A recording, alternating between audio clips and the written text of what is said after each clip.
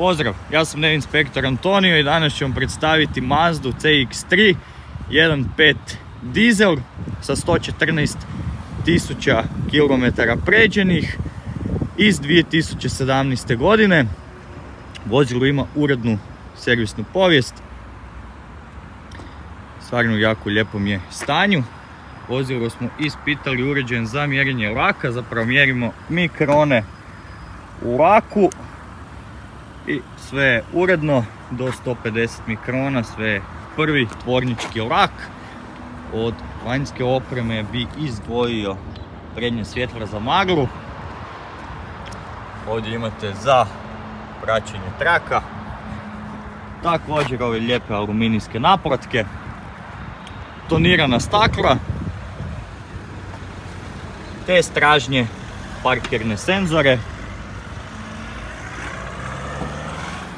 Vozilo je manji SUV, ali dosta je prostrano. Ima lijepi kapacitet GPK, također imate ovdje duplo vam i podnica, što možete i gore ovako pa dobijete ravnu podrugu.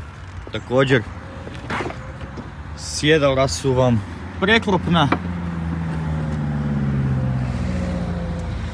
Evo inače može se spustiti do kraja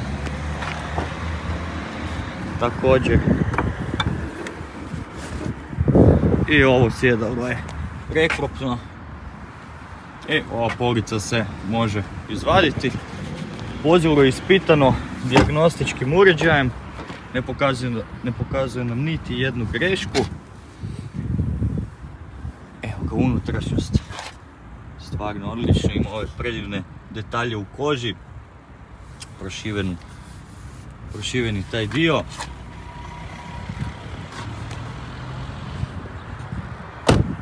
Vozilo je stvarno za svaku preporuku. Gospodin se uredno uredno vozi s vozilom.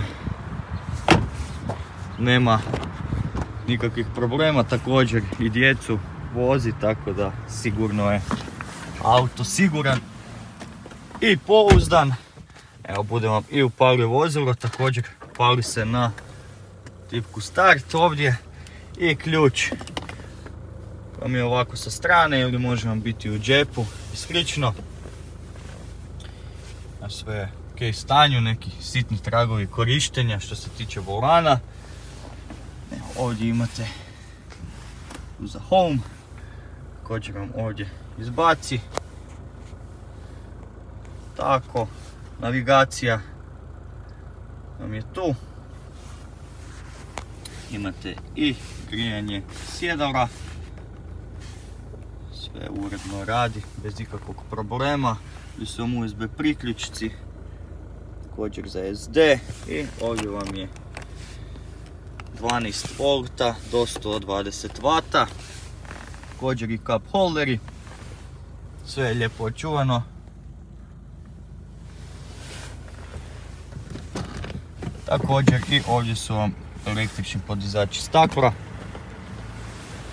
Vozilo će biti već danas objavljeno na Neostar platformi i nadam se da se vidimo što prije na probnoj vožnji. Lijep pozdrav!